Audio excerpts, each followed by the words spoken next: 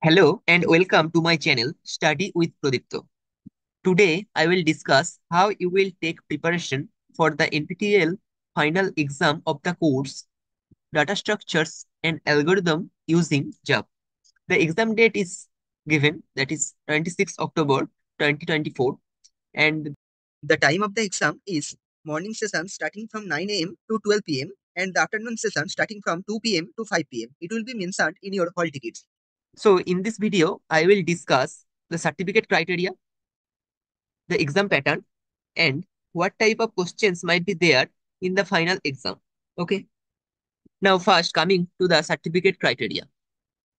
Final score will be made of 25% of average assignment score and 75% of the certificate exam score. That means the final exam you will give, suppose you get 60 marks out of 100, then 75% of 60, that is 45, will be added to your final score.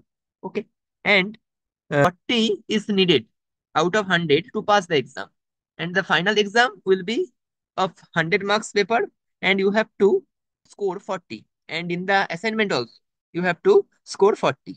Now, uh, please note that best of 3, 6 or 8 assignments are taken for the courses of 4, 8 and 12 weeks. So, this is a 12 week course. So, your best 8 assignments will be taken for the uh, certificate criteria. Okay, now how you will know uh, wh uh, what marks you get in the assignments? After coming to the NPTEL website, you will find one tab that is progress tab. Okay, so click this tab. Then this type of screen will come in front of you. Then here you will see assignment scores. Okay. So click it. Then you will get the assignment score. Okay. Take your best eight assignment score and sum all the assignment score. Then take 25% of that score. Okay. Suppose your average assignment score is 90. Okay. Now 25% of 90 you have to take. Okay. That means 22.5 you will get and it will be added to your final score. Now next, I will discuss the exam pattern. Okay. 50 questions will be there in the exam. The questions will be divided into three sections, section A, section B, and section C. Each questions will be of 2 marks. Now the total marks is 100. Okay. Now section A will consist 10 questions, which is which will consist 20 marks. Section B will consist 15 questions, 30 marks, and section C will consist 25 questions, 50 marks. There will be no negative marking. So I will give you suggestion that please don't leave any questions unattempted. Okay.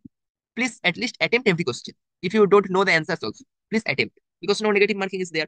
Now, I will come that how you will take preparation. Okay. Now, suppose in the week one assignments, you see these questions that which of the following statements is true about linear and non-linear data structure in Java. You made the answers correct. Okay, array and linked list are linear data structures, while graph and tree are non-linear data structures. They uh, often change the options. Okay, now if you know that uh, which are the data structures that are linear and which are the data structures that are non-linear, then you will surely make the answers if the uh, options uh, are changed. Okay, I am talking about this chart. Okay, suppose if you know that uh, which data structures are linear, which data structures are non-linear, then if the options are changed, then you can also make the answers correctly. Like they might give uh, in the array, uh, in the place of arrays and linked list, they might give stacks and queues. So you, you will not face any difficulties in answering the questions if you know this chart. Okay, like in this way, you have to think what questions might be asked. Okay.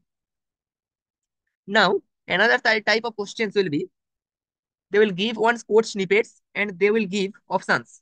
And between these options, one options might be the correct options. Okay. So this type of questions is also asked in the final exam.